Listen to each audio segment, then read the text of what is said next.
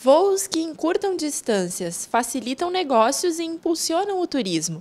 Esse é o objetivo do governo do estado através das mudanças promovidas no Programa de Desenvolvimento da Aviação Regional em 2019, que permitiram a implantação de seis novas rotas. Resido em Santa Rosa.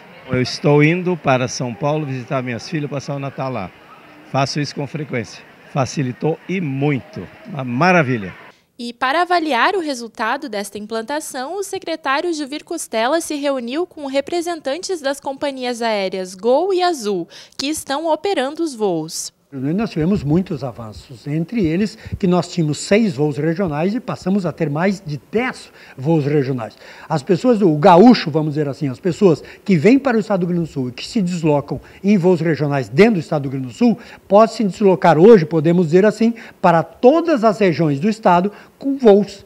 Ou seja, um dos modais estão, cada vez mais intensificados no Estado. É no diálogo franco, aberto com as empresas, tanto a Gol, a Tioflex, como a Azul, fazendo essa retrospectiva, vamos dizer assim, de que forma melhorarmos para fortalecermos os voos regionais. Porque se nós tivermos a potencialização dos voos regionais, o Estado ganha, a região ganha, tanto no sentido de desenvolvimento de turismo, agronegócio, em todos os sentidos. A redução nas alíquotas de combustíveis como contrapartida para o incremento dos voos foi uma das ações dos estados para promover o desenvolvimento regional através da aviação.